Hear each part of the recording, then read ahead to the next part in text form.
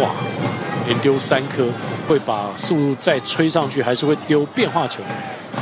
现在防护员上来了解一下张玉成，刚才挥完棒之后，现在还是不是手指这边有点不舒服？你看可能要之前检查一下。之前的手也是有受伤过，然后休息一段时间。刚刚的那一个全力的挥棒，感觉有一点震到手腕的感觉。哇，这个一甩手，防护员马上就冲上来，这些球员的小动作，感觉是有一点严重。